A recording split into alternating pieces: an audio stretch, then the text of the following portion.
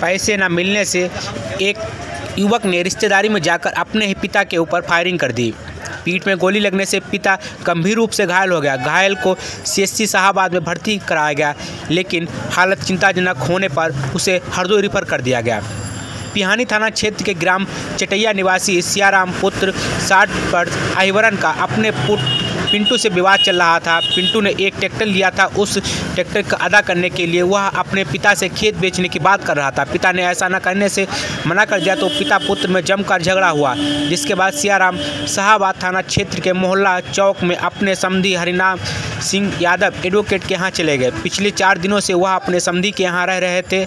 आज शाम तकरीबन साढ़े पाँच बजे पिंटू और उसका भाई अनूप तथा सियाराम के साड़ू का लड़का दिलीप एक बाइक पर सवार होकर मौके पर पहुँचे और ताबड़तोड़ फायरिंग कर दी।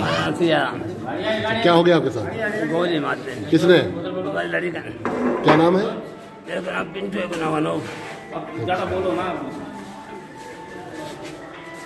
पेशेंट आया था, उसका आपने क्या उपचार किया? कुछ बताएँगे। अभी एक पेशेंट आया था शॉट इंजरी का। उसमें कोतवाली द्वारा लाया गया था मतलब पुलिस थाने के साथ आया था।